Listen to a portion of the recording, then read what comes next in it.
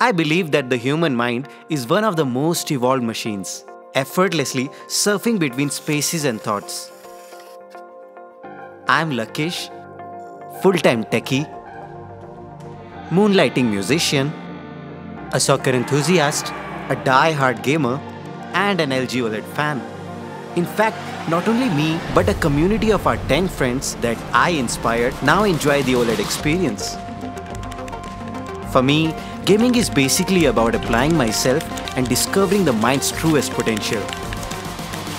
Minimizing the lag between thoughts and actions. Energy transitioning from potential to kinetic in a blip. Just like the LG OLED with 0.1 millisecond response time and NVIDIA G-Sync.